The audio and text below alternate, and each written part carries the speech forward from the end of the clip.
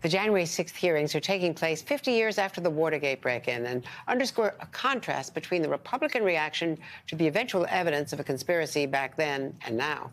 Polling shows that many Republicans still believe the Trump big lie and are discounting the facts presented by the committee. Robert Draper took a deeper look at the comparisons between the eventual Watergate hearings and the January 6th hearings in the New York Times this weekend and joins us now. So, your story, Robert, and I'm so glad you're here, talk about it. It centers on a recent meeting of the alumni of the Watergate investigation, a gathering Friday night on the actual 50th anniversary of the burglary and their comparisons then and now. Right, right. I mean, the basic comparison, I think the most salient one, Andrea, was that back then the truth wasn't up for debate. I mean, plenty of Republicans sided with Nixon, most of them did, but when the facts dictated otherwise. My grandfather, by the way, the Watergate special prosecutor Leon Jaworski, accepted the job under the belief that Nixon was innocent. He figured it was just overzealous White House aides who did it. Then he listened to the tapes. The tapes changed his mind. Uh, facts mattered back then. And your grandfather, I mean, you were a teenager, so you talked to your grandfather in real time about this. During the Watergate. He took over from Archibald Cox after the Saturday Night Massacre. Right. And it was he who brought those cases. Yes, yeah. There were more than 40 prosecutions. And he did so after listening to some of the tapes that had already been released when he heard Nixon talk to White House aides, uh, uh, uh, suggesting that they try to secure hush money payments for Watergate uh, defendants, burglary defendants, uh, suggesting that they say, I don't recall, I don't know, essentially telling them to lie. And my grandfather, who really was, you know, a creature of the law, was shocked to hear Nixon, himself a lawyer, uh, say those kinds of things and became radicalized as a result of that. Now, uh, refresh my memory because I don't recall in his memoir.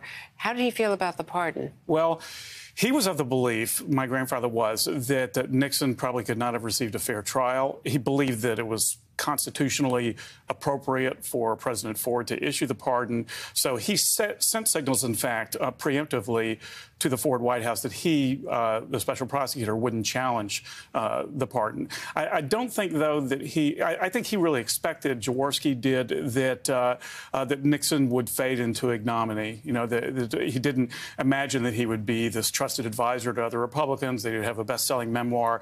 Uh, my grandfather didn't live long enough to see all of that, but I think he would have been surprised and dispirited by that. And just a footnote there, because I got to know President Ford rather well, and uh, when he received the JFK Profile Profiling Courage Award for the pardon from Caroline Kennedy, he said to me and others who were with him that night that that was the proudest of he had ever been, because of course that largely contributed greatly to his defeat. It, it, did, so but I, was, I'm sure that what he meant by that, Andrea, was that he felt that the country had been hopelessly fractured as a result of Watergate, and it was an attempt on President Ford's part to bring the country back together, even at electoral cost.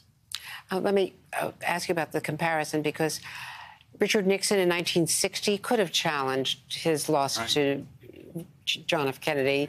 There were there were very substantive reasons to think there had been some fraud. Sure. Did not. He certified on January 6th as the sitting vice president that loss.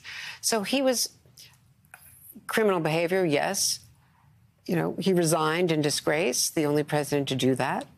But he was a, a an institutionalist, shall we say? Yeah, I, I, think I think that's well put, Andrea. Because I, uh, uh, it is true that on the front end, he and his White House fellows and campaign aides tried illegally to game an election, but he didn't try to overthrow the election results. Uh, when he uh, when he saw that uh, uh, the way the votes were going to swing against him, the Republicans, that is, after the damning tapes finally came out, um, he resigned, and he resigned, I think, for the good of the country. When uh, President Trump almost certainly would have fought it all the way to the bitter end. And the other very interesting comparison is that it was Hugh Scott, a leading Republican, a minority leader in the in the Senate, and Barry Goldwater, another leading Republican and former nominee, who went to him and said, "You have to resign. You've lost them." You know, and it was also Republicans voting. You know, Bill Cohen voting on the Senate on the House Judiciary Committee. Right, and they and they didn't do it because they got sick of Nixon. They did it because they followed the facts. They they recognized that the public did as well,